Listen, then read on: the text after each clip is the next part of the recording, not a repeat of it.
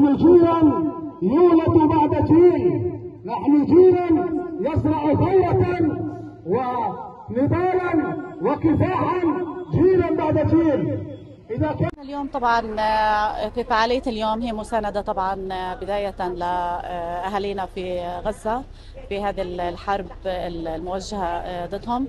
أيضا دعما لأسرانا الأبطال داخل السجون. في هذه الفترة تشهد السجون حملات ضغط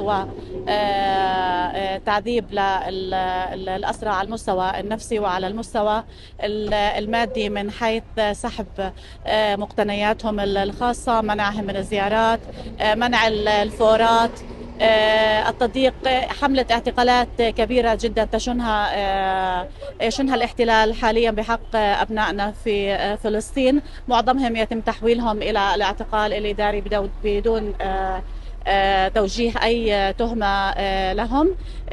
نحن هنا مساندة لهم في سجون الاحتلال ونقول لهم بأنهم حتما سينتصرون وسيتحررون قريبا إن شاء الله. إحنا اليوم بالتزامن مع كل فروع الاتحاد العام في كل المحافظات.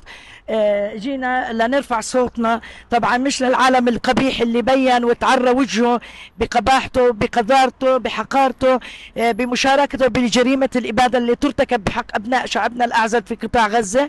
إحنا جايين نرفع صوتنا. أولا لنقول لأبناء شعبنا بقطاع غزة إنه إحنا شعب واحد شعب موحد بالضفة بالقدس في ال 48 إحنا شعب واحد شعب تحت الاحتلال شعب يناضل من أجل إقامة دولة فلسطينية مستقلة وعاصمتها القدس.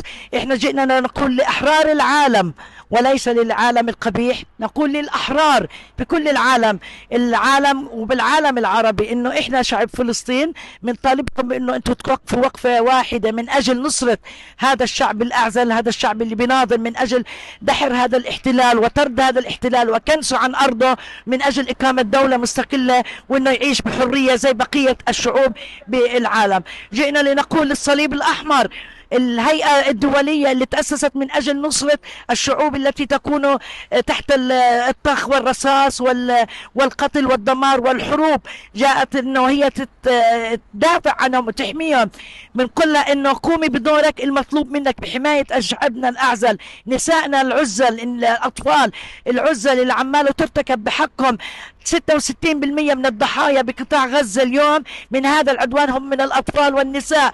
بالتالي الصليب الأحمر لازم ياخذ دوره وجئنا نقول له إنه لازم تاخذ دورك. وقفنا أمام مقر الصليب الأحمر.